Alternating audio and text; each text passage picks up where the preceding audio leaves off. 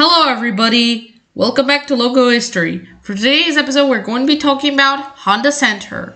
So let's start. About six to press. This is the only logo. So we have the word Honda in red text, and under there's word center in gray text. Okay, that's the shortest Logo History episode.